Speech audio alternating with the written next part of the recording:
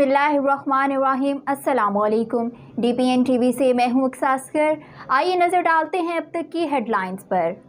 वज़ीर ममलिकत बरए अमूर खारजा हिना रुबानी घर ने कहा है कि फैटफ के हवाले से जश्न मनाना कबल अज वक्त है।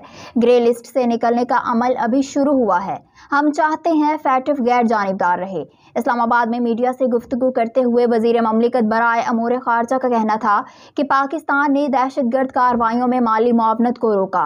मुश्किल वक्त में हमने एक कौम बनकर काम किया। हम जानते हैं ग्रे लिस्ट से निकलना कितना मुश्किल काम है। उम्मीद है पाकिस्तान हमेशा के लिए फैटफ की ग्रे लिस्ट से निकल जाएगा।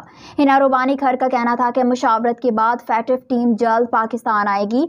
ये अख्ताम नहीं, आगाज़ है। हम अपनी कोशिश नहीं छोड़ेंगे। हम चाहते हैं फैटफ गैर जानबदार रहे।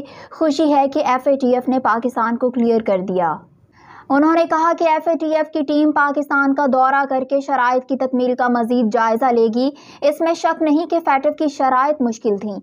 उम्मीद है अक्टूबर तक ग्रे लिस्ट से निकलने का अमल मुकम्मल हो जाएगा। इस सिलसिले में हम एफ़ ए टी एफ़ हकाम के साथ रबते में हैं। हिना रुबानी खर ने कहा कि जब किसी मुल्क को ग्रे लिस्ट से निकाला जाता है तो तकनीकी टीम को दौरा करना होता है। पाकिस्तान का फैटफ और आलमी बरदरी से ताउन मीशत को बेहतर बनाने की कोशिशों का हिस्सा है। इस सिलसिले में कौमी और सूबाई अदारों ने भी अपना काम बेहतरीन अंदाज में किया। हम अब इस पोजीशन में आ चुके हैं कि दूसरे ममालिक को मुआवनत फराहम करें। वज़ीर ममलिकत ने कहा कि अब पाकिस्तान के ज़िम्मे कोई इकदाम जेर अल्तवा नहीं, एक मुल्क हमेशा इस अमल को सियासी रंग देने की कोशिश करता है।